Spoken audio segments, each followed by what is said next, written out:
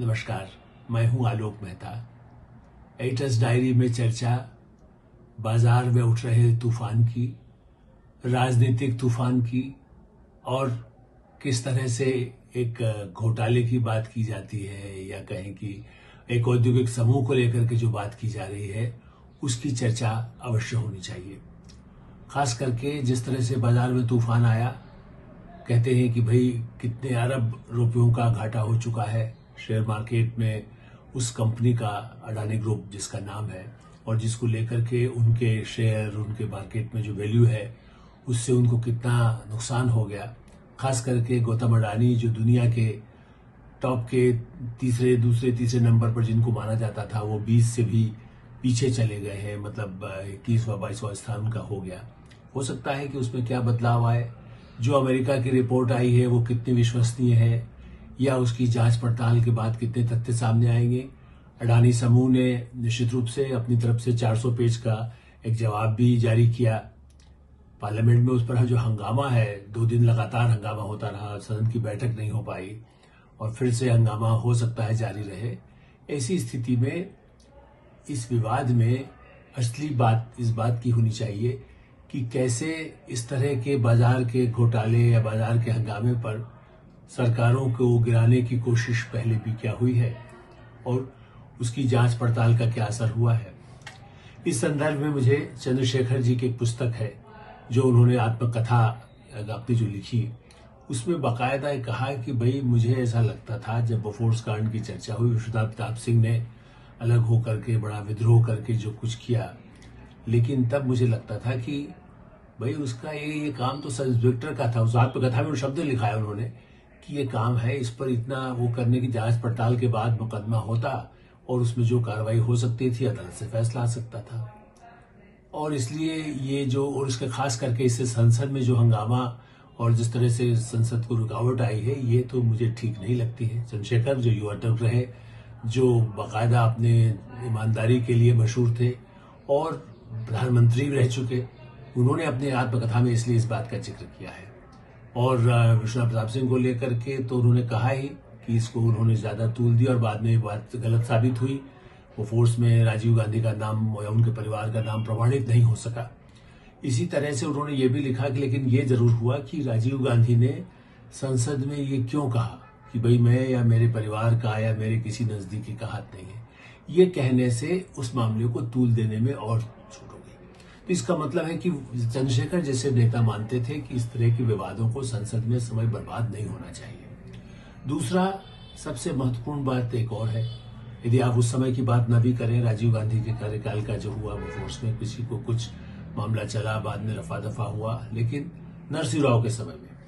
आपने सुना होगा, नहीं तो आप देख सकते हैं, पुराना रिकॉर्ड निकाल करके, जिस समय हर्षद मेहता ने कह दिया कि हमने तो एक करोड़ प्रधानमंत्री निवास में जाकर के दिया।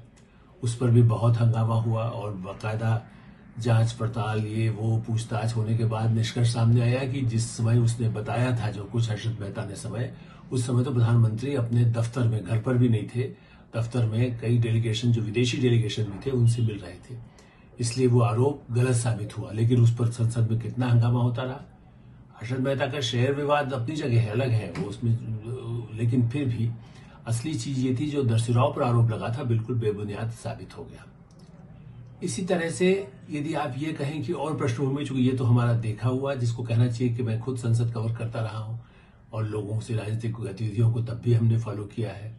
लेकिन उससे पहले नेहरू के कार्यकाल में भी दो तीन बार ऐसे अवसर आए। एक मंत्री थे उनके केशव देव मालविया और उन्होंने किसी चुनाव के उम्मीदवार के लिए किसी कंपनी से कह दिया कि जरा इसकी मदद करना चुनाव में खर्च के लिए। छोटा मोटा खर्च उस समय होता था कुछ सालों में।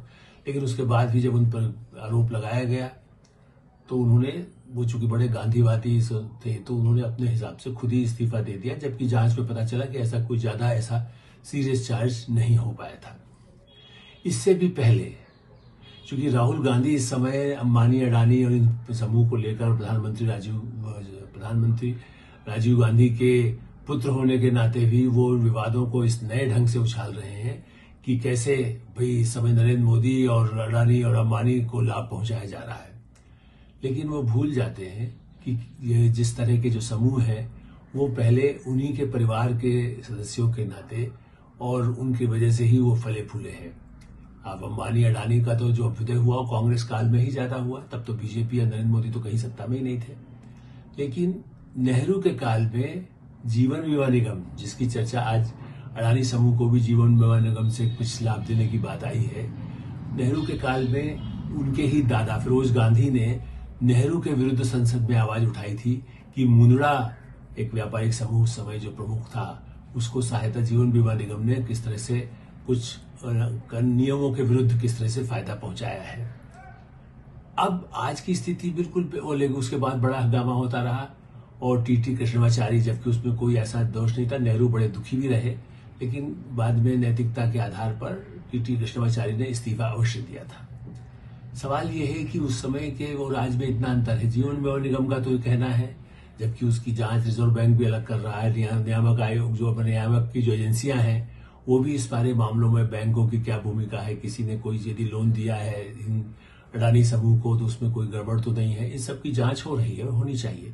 कोई भी जाँच हो, जो उसकी वित्तीय मामलों की संस्थाएँ हैं, वो उसको काम को कर सकती है तो करना भी चाहिए, या न्यायालय पे भी जाया जा सकता है। यदि कहीं कोई गड़बड़ या घोटाला है तो न्यायालय जाने पर हमें आपत्ति नहीं, लेकिन विवाद को अनावश्यक उछाल करके समाज में, राजनीति में, अर्थव्यवस्था में जो गड़बड़ी पैदा की जा रही हो, उसको लेकर के प्रश्न ज़रूर उठते हैं कि क्या यह उचित है या नहीं है।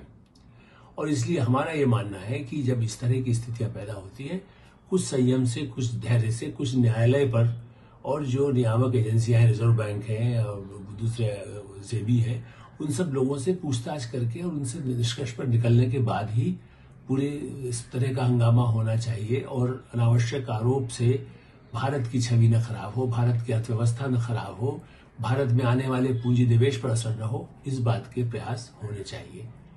फैसला तो अदालत करती है, न्याय वहीं से मिलना चाहिए। और जो दोषी हो उस पर कार्रवाई भी होनी चाहिए। धन्यवाद नमस्कार।